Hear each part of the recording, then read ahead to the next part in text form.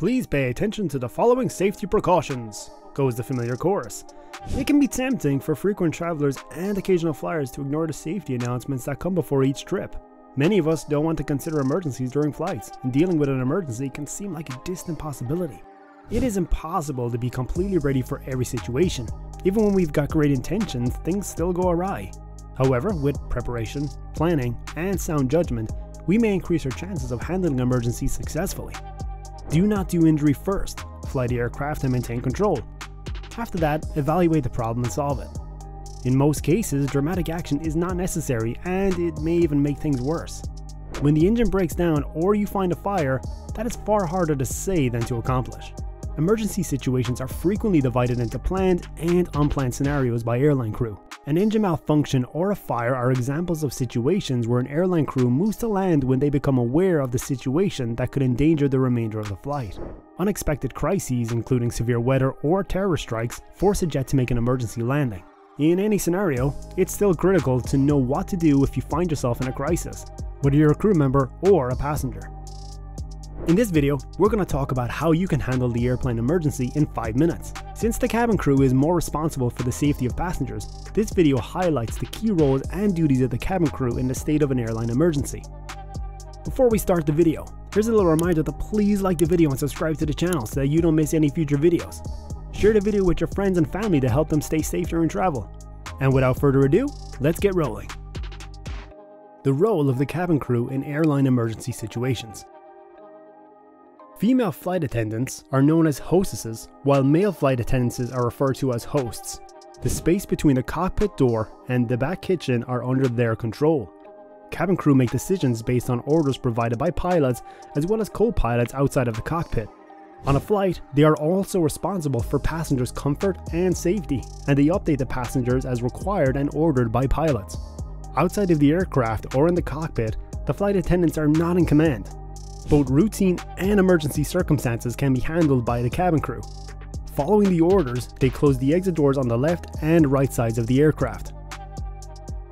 The primary responsibility. The primary responsibility of the cabin crew is to verbally and physically describe to travelers what to do in the event of an emergency. Additionally, hosts and hostess have a responsibility to notify passengers of all essential information on emergency protocols and evacuations handling of an emergency. In the time of an emergency, flight attendants keep their calm and try the best to ensure passenger safety. Following the instructions of the flight attendants and paying attention to what they are speaking into the mic, passengers can easily understand and handle any kind of emergency during a flight. Who comes last out of an aircraft? Did you know that the captain must be the last member of crew to leave the cockpit and the last person to leave the aircraft after a final check that all passengers have left the aircraft. Prior to the arrival of the emergency rescue services, they are in command of the activities on the ground. As a passenger, how should you handle an emergency situation in an aircraft? Pre planning before every flight. First and foremost, make a plan before an emergency arises. You'll know what to do if anything happens after that. If there is an emergency and there are passengers involved, it will probably be an evacuation. It's imperative to handle every flight with the highest care and precision regardless of your level of experience as an aircraft traveler. Every aircraft, crew, and passenger group is unique. Spend some time reviewing the emergency protocols you know. Make sure you are familiar with the locations of the critical equipment and emergency exits.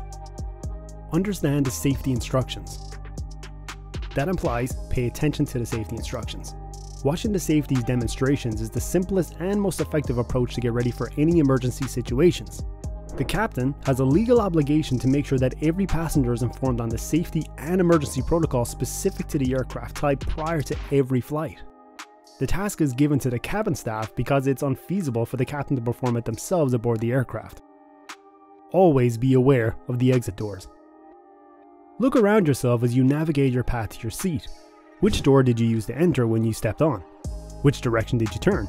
The other doors, where are they? Knowing your surroundings better will help you become more situationally aware, which will increase your chances of fleeing in an emergency. There is a possibility that one door will be blocked in an emergency, leaving the cabin black and smoke filled. You won't be able to see two inches in front of your face if there is smoke or darkness. Therefore, you will need to be able to figure the rows to an exit in order to escape. keep listening to the cabin crew instructions. Pay close attention to the flight attendant's instructions and follow them. They will shout things like, come this way, and get out, get out, get out, in their fiercest shouting voices. Without an instruction, do not leave the area. A fire outside the aircraft, possibly on the engine, might be visible. The crew might be deciding to evacuate and performing some crucial tasks before the doors are unlocked because they are aware of the situation. Leave your belongings behind. Take absolutely nothing with you. It will be snatched out of your hands and thrown into the galley or lavatory if a flight crew is at the exit. If required, you will be forced headfirst down the slide. Evacuation. Every individual who exits the aircraft, regardless of injury, is a life saved in the crew's eyes. On the slides, injuries frequently happen, so when you reach the door, just leap and jump quickly. Don't even pause or wait for the person in front of you to finish the slide. You will feel a size 8 air hostess heel bang against the small of your back if you don't leave straight away. You do the help or you keep moving. A big, strong person or two will be ordered by the flight attendants to remain at the bottom of the slide and drag people away from the slide as they descend. That duty might be placed on you. It's a huge one, and if you do it well, you'll considerably reduce the number of injuries. Move away from the aircraft and towards a patch of grass as soon as you touch down. Never sit or stand on a paved surface. It is also quite risky to be close to an aircraft or even on a pavement since the fire apparatus will be rushing into the area. Oh, and without saying the simple truth, now is not the time to begin smoking because there could be a fuel leak. With this, the video comes to an end. Did you find the information useful? Please let us know in the comment section below. And yes, you can also share any thoughtful information regarding handling the airplane emergency situations in the comment section.